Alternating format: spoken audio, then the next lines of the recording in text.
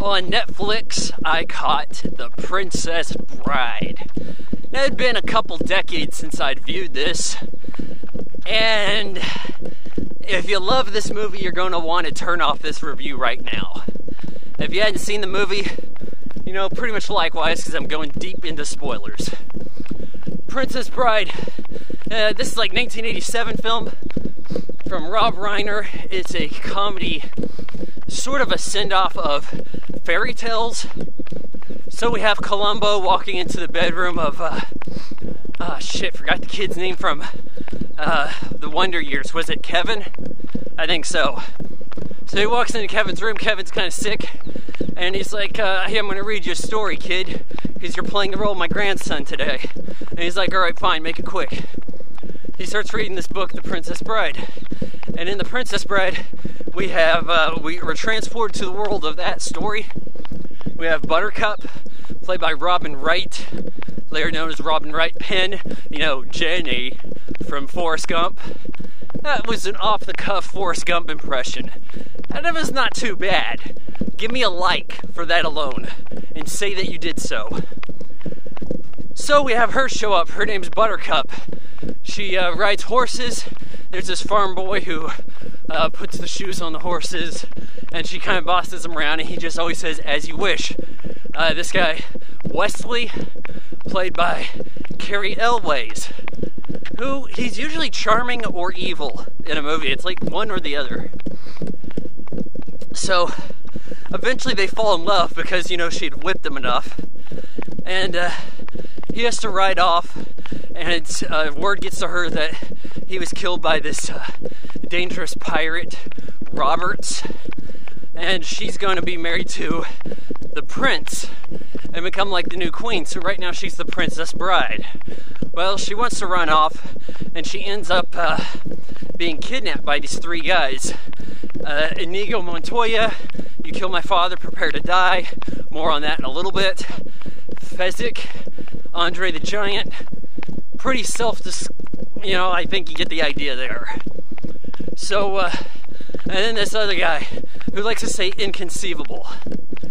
You know, I feel like the catchphrases from this have given it a nostalgia cred where maybe it's not entirely deserved. So, yeah, people like to run around inconceivable. You kill my father, prepare to die. Uh, they say the lines too many times. Like, you can't really get iconic movie line status when it's repeated like five times in a movie. That, that, it's like Sonic the Hedgehog. Sega says, "Hey, we made up this guy to be our mascot."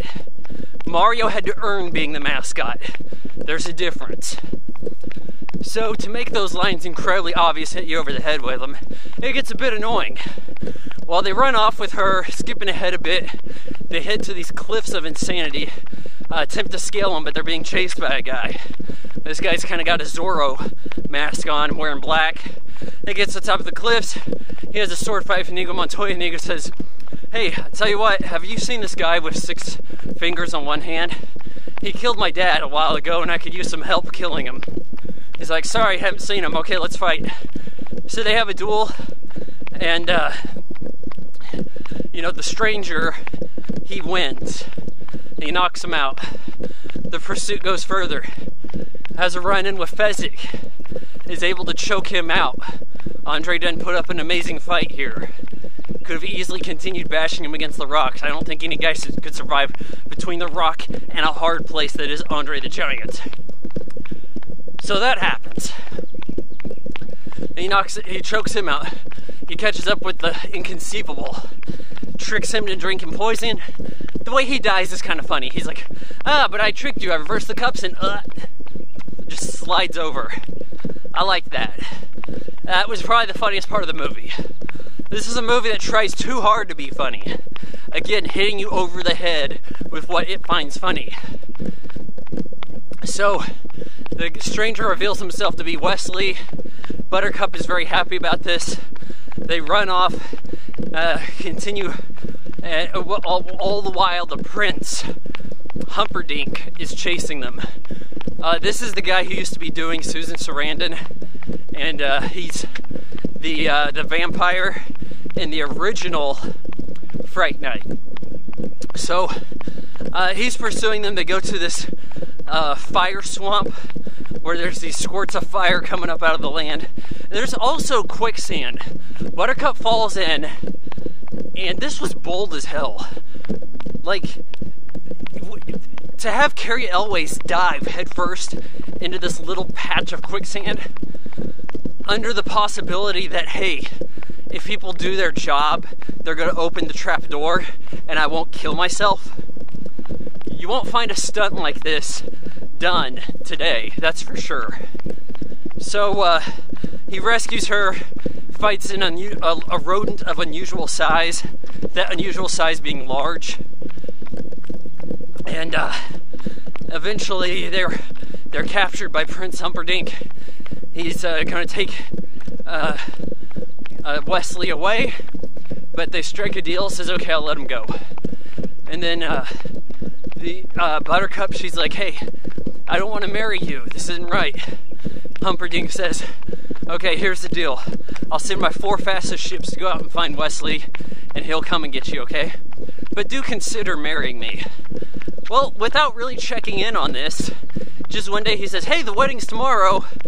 And she's not really put off by it. It's like, Did we miss a scene here? And then he says, Oh, yeah, all my ships are going to be celebrating.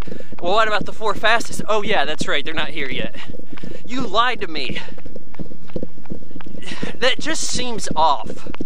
She should have been like, hey, we're not getting married. Where do you get this idea? He, he could have said, oh, the ship's returned and Westley isn't interested. Or he died, he was killed. I mean, at least give her some kind of story there. Did you forget that you were lying to this character? So, Westley's been tortured.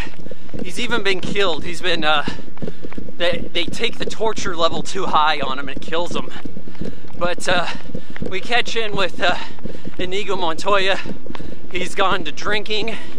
Uh, Fezzik helps get him get him off uh, booze, and there Fezzik tells him, "Hey, there's this count, or maybe he's a baron or something.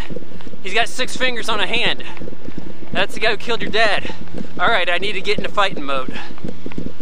How come he couldn't have witnessed this? We don't see any character actually acknowledge the six finger man aside from Westley.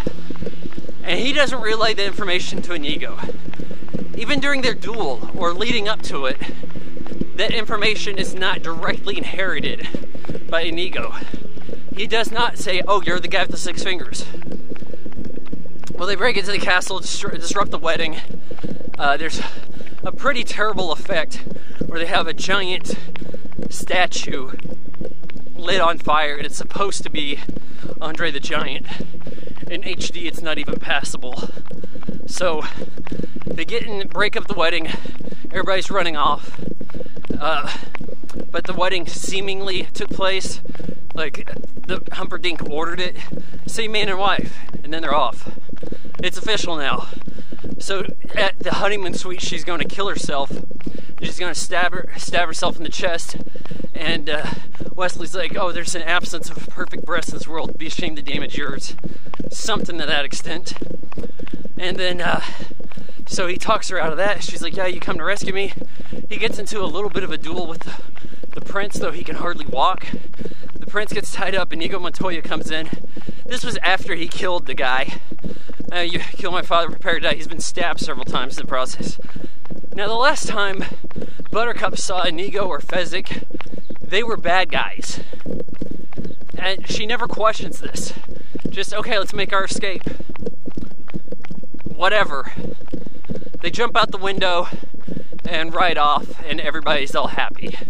There is a good kiss at the end of the movie. I feel like that endears it to the women. But just to say it's well shot or executed isn't enough. They have to beat you over the head with it. Of all, all the beautiful kisses in history, this one put them all to, to shame. Something like that says Columbo. And it's like, yeah, I think you, you drove home the point here, but I mean, it's like LeBron James. If you say you're the greatest of all time, it's not as cool as being the greatest of all time and not having to say it, letting the actions speak for themselves. You know, what if Columbo wrapped up this movie saying, it's the greatest story ever told? Eh, I mean, The Princess Bride is okay. Like, I don't, I don't feel like it's as funny as people are led on to believe. I don't feel it's even that remarkable.